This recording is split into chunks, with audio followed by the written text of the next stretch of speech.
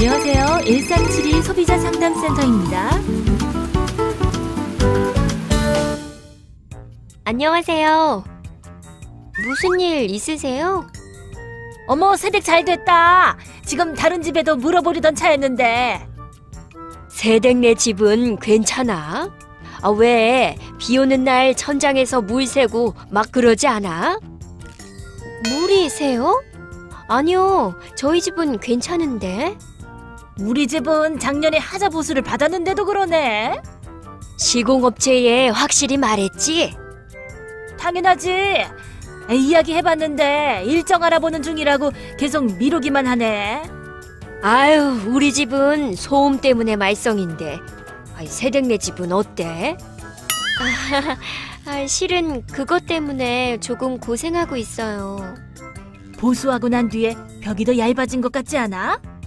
어휴, 말이 나왔으니 말인데 아침마다 마늘 빻는 집 누구더라? 이 옆편 내가 그 집 애나 집에서 줄넘기 하지 말라고 해. 뭐야? 비도 오는데 먼지 날리게 한바탕 해보자는 거지? 그래, 좋다 이거야. 어, 저기 말씀 중에 죄송한데 거주자들끼리 다툴 문제는 아닌 것 같은데요.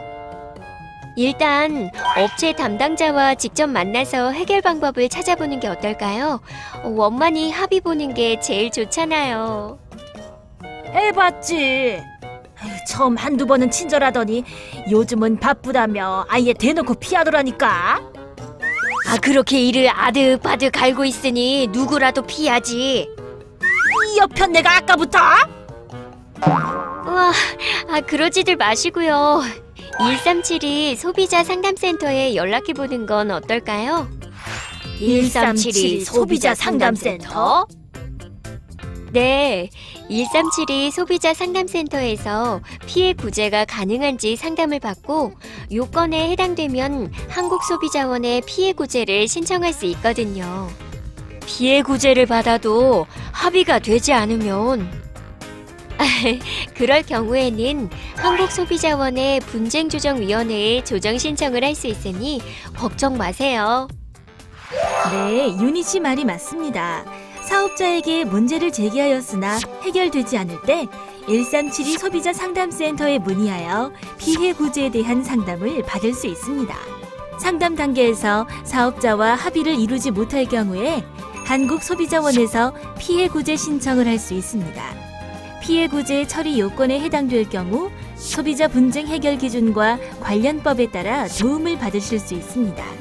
한국소비자원의 피해 구제 단계에서도 해결이 안 되면 소비자 분쟁 조정 위원회에 조정 신청을 할 수 있습니다. 분쟁 조정 단계에서는 사실 조사, 전문가 자문 등을 거쳐 양 당사자 간 원만하게 합의할 수 있는 조정안을 제안해 드리는데요. 소비자와 사업자가 조정을 수락하면 조정안은 확정 판결과 같은 법적 효력이 있습니다. 소비자 피해에 대한 구제를 확실히 할 수 있게 되니 참고하세요.